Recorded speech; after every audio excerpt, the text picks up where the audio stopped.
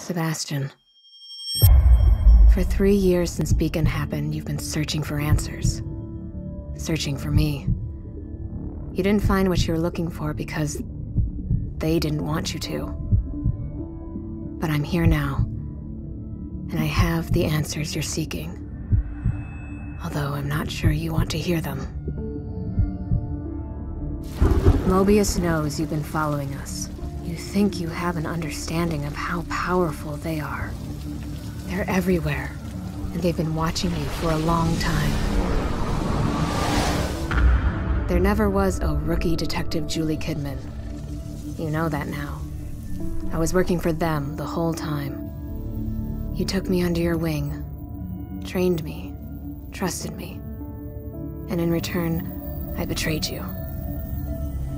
I'm sorry, but you just don't say no to them. Mobius needs you now.